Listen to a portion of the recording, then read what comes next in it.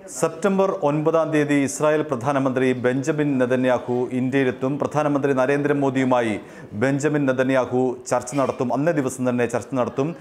Israel തെരഞ്ഞെടുപ്പ് September പതിനൊന്നിനാണ്. നേരത്തെ mail നടന്ന തെരഞ്ഞെടുപ്പിൽ നെതന്യാഹുവിന് ഭൂരിപക്ഷം ലഭിച്ചിരുന്നില്ല. ഇതേ തുടർന്നാണ് വീണ്ടും ഇസ്രായേൽ തെരഞ്ഞെടുപ്പ് നടത്താൻ തീരുമാനിച്ചിരിക്കുന്നത്. അങ്ങനെ തെരഞ്ഞെടുപ്പ് നടക്കുന്ന ഘട്ടത്തിൽ ഇന്ത്യയും ഇസ്രായേലും തമ്മിലുള്ള കൂടിക്കാഴ്ചയെ അതീവ പ്രാധാന്യത്തോടു കൂടിയാണ് ലോക രാജ്യങ്ങൾ നോക്കിക്കാണുന്നത്. സെപ്റ്റംബർ പതിനേഴിനാണ് ഇസ്രായേലിൽ തെരഞ്ഞെടുപ്പ് നട- നടത്തുക.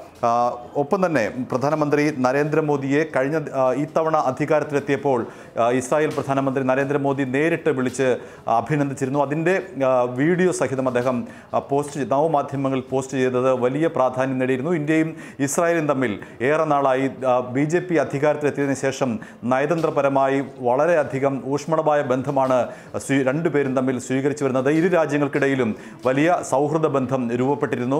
മാത്രമല്ല വ്യക്തിപരമായി നെതന്യാഹുവും മോദിയും തമ്മിൽ അടുത്ത സൗഹൃദമാണ് ഉള്ളത്. ഐക്യരാഷ്ട്രസഭയുടെ സാമ്പത്തിക സാമൂഹിക കൗൺസിലിൽ ഇന്ത്യ പലസ്തീൻ സംഘടനയായ Palestine Association for Human Rights എന്ന സംഘടനയ്ക്കെതിരെ ഇന്ത്യ വോട്ട് ചെയ്തിരുന്നു.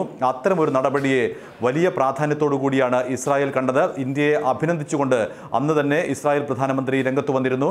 നേരത്തെ തന്നെ നരേന്ദ്രമോദി ഇസ്രായേൽ പോയിരുന്നു. അദ്ദേഹം പകര പകരമായി ഇസ്രായേൽ പ്രധാനമന്ത്രി നെതന്യാഹു കഴിഞ്ഞ വർഷം ജനുവരിയിൽ ഇന്ത്യ സന്ദർശിച്ചിരുന്നു. അങ്ങനെ പരസ്പരമുള്ള സന്ദർശനം വഴിയും ഒപ്പം തന്നെ നയതന്ത്ര ബന്ധത്തിലെ പുതിയ പുതിയ തന്ത്രങ്ങൾ ആവിഷ്കരിക്കുക വഴിയും രണ്ട് രാജ്യങ്ങളും തമ്മിൽ ഊഷ്മളമായ ബന്ധം നിലനിൽക്കുന്ന ഘട്ടത്തിലാണ് ഒരിക്കൽ കൂടി നദന്യാഹുവിന്റെ ഇന്ത്യയിലേക്കുള്ള വരവ്. ഏതായാലും നദന്യാഹുവിനെ സ്വീകരിക്കാനായി എല്ലാ ഒരുക്കങ്ങളും പൂർത്തിയായിരിക്കുന്നു. സെപ്റ്റംബർ ഒൻപതിന് തന്നെ അദ്ദേഹം എത്തും. പക്ഷേ കൂടിക്കാഴ്ചയിലെ അജണ്ടകൾ എന്തെല്ലാമാണെന്ന് ഇപ്പോൾ നമുക്ക് വിവരങ്ങൾ ലഭ്യമല്ല. പ്രധാനമന്ത്രി നരേ- നരേന്ദ്രമോദിയുമായി അദ്ദേഹം ഒൻപതാം തീയതി സെപ്റ്റംബർ ഒമ്പതിന് കൂടിക്കാഴ്ച നടത്തുമെന്ന് മാത്രമാണ് ഇപ്പോൾ പുറത്തുവരുന്ന വിവരം.